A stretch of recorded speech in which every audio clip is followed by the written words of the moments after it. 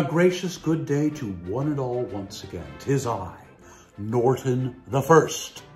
By grace of God, Emperor of the United States and Protector of Mexico, uh, back with you for episode 64 of Emperor Norton's fantastic history vlog. Today is June 6, 2020, our 83rd day under a shelter-in-place order here in San Francisco.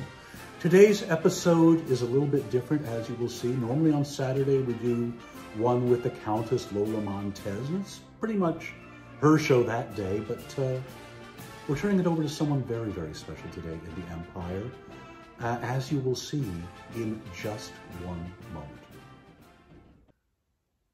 You know, Countess, today is a very special day in the Empire. It is? It is indeed because the Dowager Empress is turning 100 today. Oh my word, my stars. Now wait a minute. If I'm 202 Yes, and she's 100, yes. how does that work? That's a good question, isn't it? We'll have to put some thought into that. But in the meantime, we have prepared a special proclamation for this auspicious occasion. At the country request and desire of a large majority of the citizens of the empire, we, Norton First, by grace of God, Emperor of the United States and Protector of Mexico, come before you, our loyal subjects, on this auspicious occasion with a special proclamation. Whereas Laura Amster was born on June 6, 1920, and whereas since that time she has led a long life raising two intelligent, beautiful, and industrious children, Hear, hear. Loran and Joseph. And whereas she managed political campaigns, served her community as a member of the board of directors of the Jewish community of Orange County, Community Center of Orange County, traveled the world, created paintings, collected art, and pursued various creative endeavors. And whereas during her long life, she has seen the election of 18 U.S. presidents, a world war, the invention of talking pictures, television, and the atomic bomb, as well as seeing men walk on the moon, the rise of the internet, and innumerable historic events. And whereas she is the Dowager Empress of our magnificent empire, and whereas we are gathered today here virtually to honor her 100th birthday, and whereas we love her very much.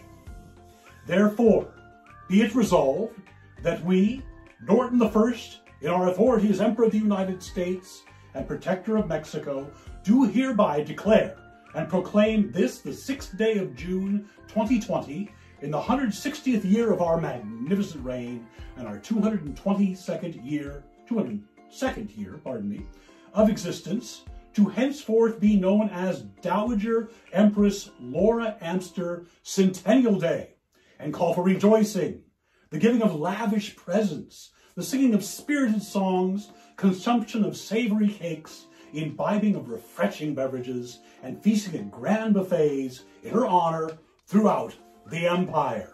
Huzzah! And now, we should like to grace you with a special song for your birthday. Mm-hmm. Happy birthday to you. Happy birthday to you. Happy birthday, dear Dowager. Happy birthday to you. And many more. And I think we're going to take a little trip in the time machine now. What are you saying, Countess? Oh, yes. Wait a minute. What happened? The time machine was supposed to be set for the 1870s, and this doesn't look right. I think we're in the 1970s. Oh boy, well, we'll have a special song for that. You might remember this one. They say it's your birthday. It's my, my birthday, birthday too, yeah. They say it's your birthday. We're gonna have a good time. We're glad it's your birthday. Happy birthday, Birthday to you. Happy birthday, Mom. We love you. Wasn't that fun? Indeed, it is the Dowager's 100th birthday today. Happy birthday. Well, that wraps it up for this edition.